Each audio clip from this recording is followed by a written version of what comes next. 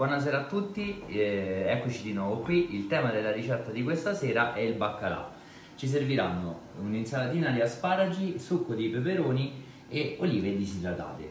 Partiremo con il ricavare tre tranci di baccalà,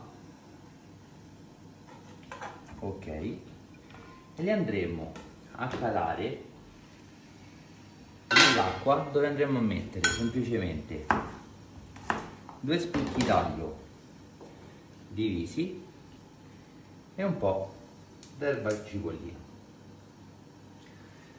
un goccio d'olio. Andremo a calare il baccalà. Coperchio e intanto procederemo ad assemblare il piatto. Per l'insalatina di, di, asparagi basterà prendere gli asparagi, privarli della parte legnosa e verde e con il pelapatate fare delle listarelle. Sbollentarle per 30 secondi e passarle subito nell'acqua e ghiaccio. Dopodiché le asciughiamo un pochettino e le mettiamo in un contenitore.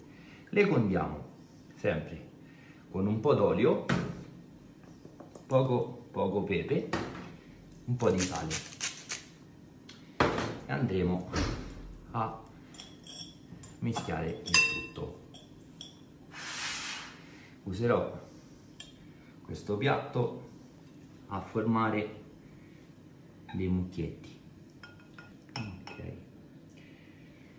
Mentre vi spiego il resto andiamo a girare il baccalà. La cottura sarà brevissima una volta formati i mucchietti, questa è, lo chiamo succo di peperoni perché è quasi al naturale, un, un leggero goccio d'olio.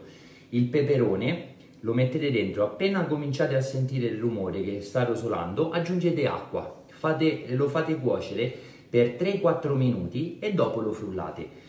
Se lo preferite più leggero potete privarlo della buccia, eh, altrimenti lo lasciate e um, una volta frullato lo passate con un passino e la buccia rimar rimarrà lì dentro. Una volta ottenuto il succo, quindi una crema abbastanza fluida, andrete ad aggiungere a crudo olio, sale, un poco poco di vaniglia e un po' di zucchero per renderlo più dolce. Le olive disidratate basterà prendere le olive nere, le mettete nel microonde a 600 watt per circa 4 minuti, a seconda eh, le, le toccate al tatto, andre, quando saranno ben secche le tirate fuori e le andrete a tirare al coltello. Privatelo dell'erba cipollina, non servirà aggiungere sale, lo andrete a mettere sull'insalatina che avete messo prima.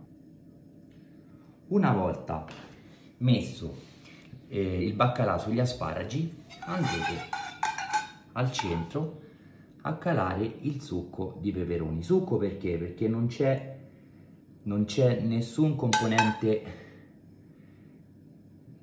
tipo panna quindi ho preferito chiamarlo succo. Se volete sporcare leggermente anche il baccalà.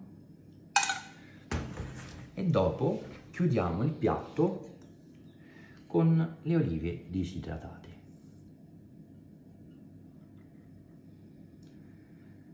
A vostro piacimento potrete aggiungere sopra un goccetto d'olio, eh, rigorosamente extravergine e il piatto è pronto.